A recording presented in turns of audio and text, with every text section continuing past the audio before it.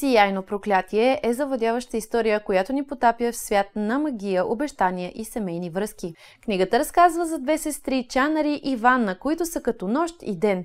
Чанари, прокълната с змийско лице, е принудена да живее в сянката на своята сестра Ванна, известна като Златната, която блести с красотата на самото слънце.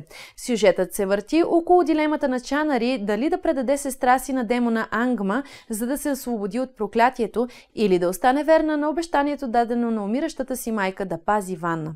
Сияйно проклятие е книга, която ще се хареса на любителите на фентази жанра, предлагайки ни едно пътешествие изпълнено с опасности, магия и непредвидими обрати. Авторката Елизабет Лим създава богат и цветен свят, където митичните същества и древните заклинания са част от ежедневието. История за жертвата, любовта и изборите, които правим и как те формират нашия път.